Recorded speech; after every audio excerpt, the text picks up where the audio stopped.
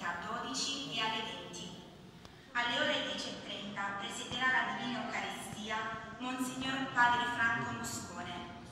Alle ore 17.30 in piazza Giovanni Paolo II ci sarà la recita della Corona Angelica, seguita alle 18.00.